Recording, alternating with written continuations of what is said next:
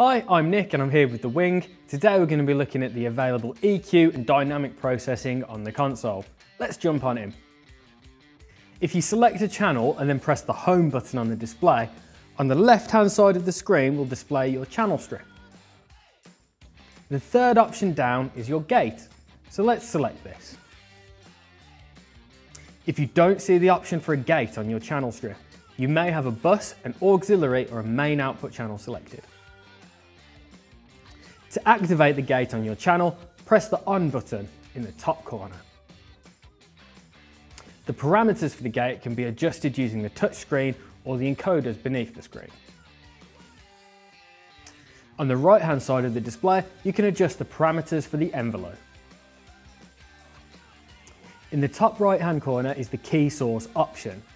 The key source will allow a different source to trigger the gate. This is extremely helpful for sidechaining. Simply select the option and a drop down menu will appear. You can then select the source that you would like to trigger the gate. Next to the key source will now be a key tap option. This will allow you to select the tap point on the key source signal. You can also adjust the filter for the gate. This is done in the same way using the drop down menu. In the filter menu, we can change between a flat, low pass, high pass or band pass filter using another drop down menu. Below this is also the key solo option. The key solo will only play the key source through your monitor output, not from your main output. When you are done with the key solo, simply press the key solo button again to disengage or the clear solo button on the display. Once completed, press the done button. Finally is the option to adjust the gate model. This is done from a drop-down menu in the top left corner. Once the drop-down is open, simply select the gate model that you'd like to use. Please be aware that if you return to a different gate that you've previously used, all settings will be reset back to their default state, other than the key filter and the key source. Underneath the gate on your channel strip on the left hand side of the display is the EQ option. As with the gate, ensure that this is engaged when you would like to use it. The EQ can be adjusted using the touchscreen or the encoders below the screen. The encoders below the screen will only control the band that you have selected at that time.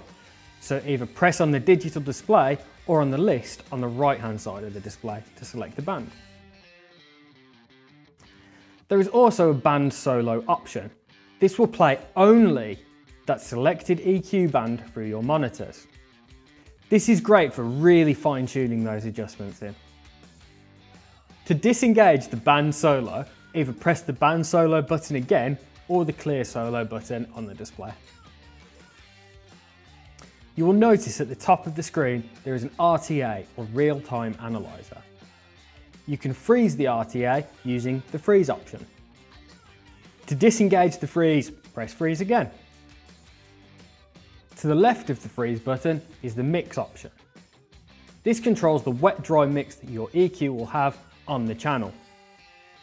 Press the mix button and then use the encoder on the right hand side of the display to adjust this.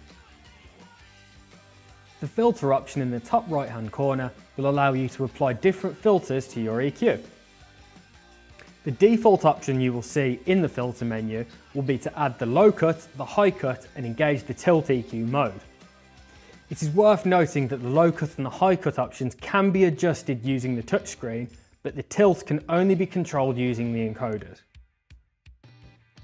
If you press the tool filter option in the top right hand corner, you can change from a tilt EQ to an all pass filter or to a sound maxer. Once completed, press the Done button to return to the EQ menu. Another thing to note with the additional filters is that these aren't affected by the on and off button, meaning they will still be engaged when you turn the EQ off. Finally, you can change the EQ model using the drop-down menu in the top left. As with the gate, if you change EQ model and then change back, it will have defaulted your settings. Finally, let's look at the compressor. It's located just below the EQ. Similar to the gate, you can control all parameters using the touchscreen or the encoders below the screen. You can also adjust the key source and the key filter, and also apply a crossover to your compressor. As with the gate, you can adjust the compressor model. This is simply done by selecting the Dynamics model drop-down at the top of the screen.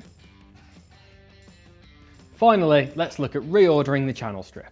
To do this, we need to return to the Home menu. At the bottom of the screen, slightly to the right, you will see the Edit option.